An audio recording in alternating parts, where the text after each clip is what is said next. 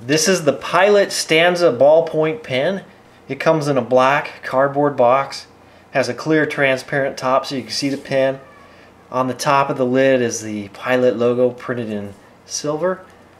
The box has a transparent top and inside we have the Pilot Stanza ballpoint pen. This is the black version of the pen. It comes with chrome accents.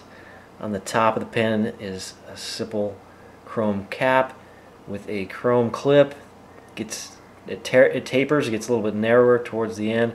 It has a couple small S's there engraved in the top of the cap. Then it has a center band, and on the center band is engraved stanza.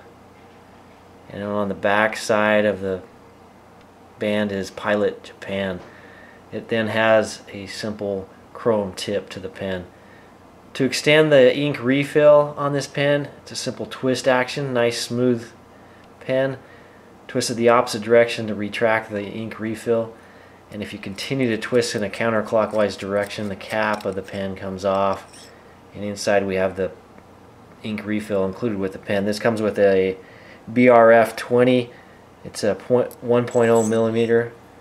It's a medium point ballpoint refill.